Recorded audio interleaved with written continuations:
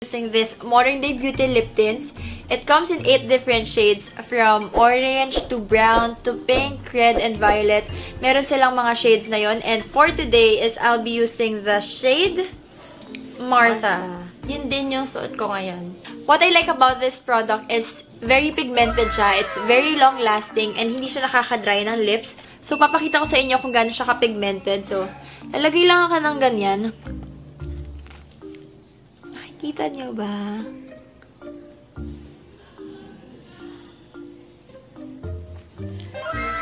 Sobrang konti lang nang nilagay ko, pero Sobrang Sobrang- pigmented niya. Tingnan mo siya sa camera.